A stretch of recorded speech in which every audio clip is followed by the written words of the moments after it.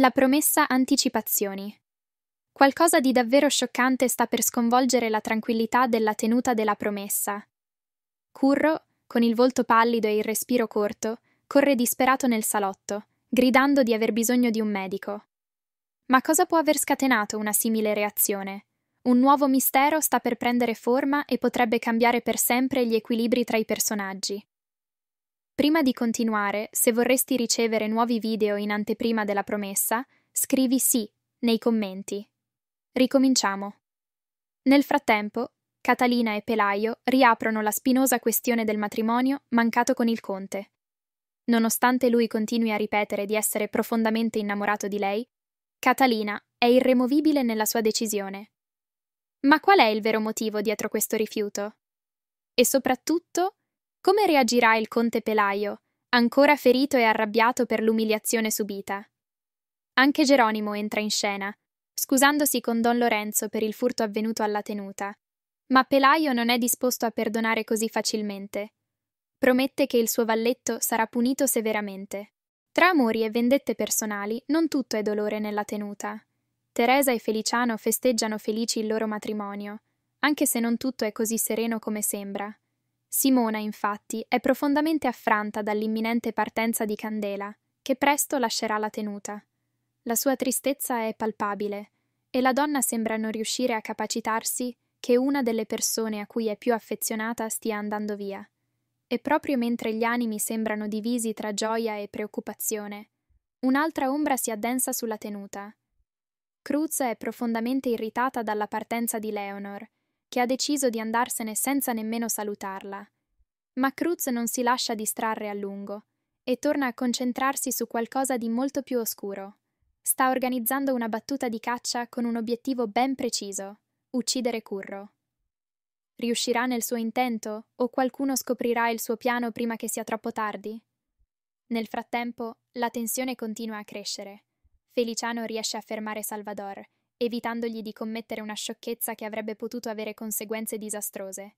La situazione tra Geronimo e il personale della tenuta è sempre più critica, specialmente perché, nonostante il furto sia stato risolto, Maria Fernandez è ancora lontana dalla tenuta.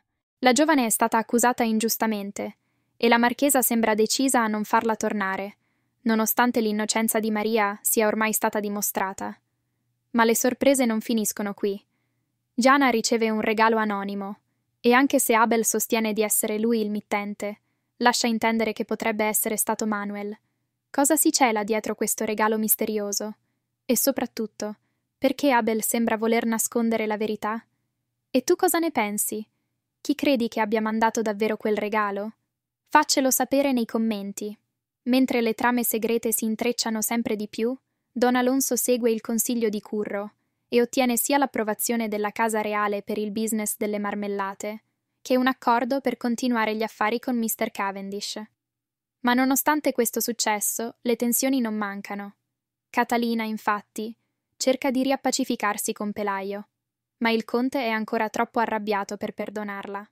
Dall'altro lato, Simona continua a soffrire per la partenza di Candela e, nonostante il suggerimento di Lope, rifiuta l'aiuto di Vera.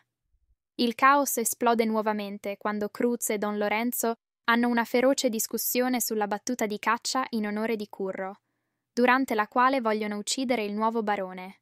Nel frattempo, tutto lo staff della tenuta è indignato per il fatto che Geronimo sia libero di camminare tra i corridoi, mentre Maria Fernandez, ancora accusata ingiustamente, è costretta a rimanere lontana dalla sua casa. Mentre i conflitti continuano, Manuel, Catalina e Martina cercano disperatamente di far cambiare idea a Cruz riguardo Maria, ma la marchesa è irremovibile. Riusciranno a farle cambiare idea prima che sia troppo tardi? Nel frattempo, Simona confida a Lope il suo sospetto che Candela non sia realmente partita per Andujar, ma che sia fuggita nelle Asturie con Carlos. La preoccupazione è forte. E se Candela non dovesse mai più tornare? Anche Feliciano, sebbene felice per il suo matrimonio, è tormentato da un segreto che sua madre non ha ancora rivelato alla marchesa riguardo la sua vera origine. La situazione si fa ancora più intricata quando Vera, con grande sorpresa, riesce a conquistarsi l'affetto dei suoi colleghi comprando loro dei regali. E mentre Don Lorenzo complotta con Margarita per scoprire il vero legame tra Geronimo e Pelaio, le tensioni non accennano a placarsi. Manuel, furioso con Abel per il suo comportamento, scatena una lite, mentre Simona inizia a riprendersi dalla partenza di Candela e accetta Vera in cucina. Ma la tensione è tutt'altro che risolta. Salvador è sempre più preoccupato per Maria, sperando che Catalina possa convincere la marchesa a far tornare la cameriera. E mentre Curro si esercita con il tiro in compagnia di Manuel, la situazione esplode quando Catalina rivela che né lei, né Manuel né Martina sono riusciti a convincere Cruz a reintegrare Maria. Intanto Geronimo, con gli occhi attenti, continua a osservare i movimenti di Catalina e Pelaio, i quali, nonostante tutto, hanno finalmente ammesso di amarsi. E ora che tutto sembra precipitare, Curro entra di corsa nel salotto gridando di aver bisogno di un medico. Ma cosa sarà successo? Scrivi nei commenti le tue ipotesi e non perdere le prossime anticipazioni per scoprire la verità.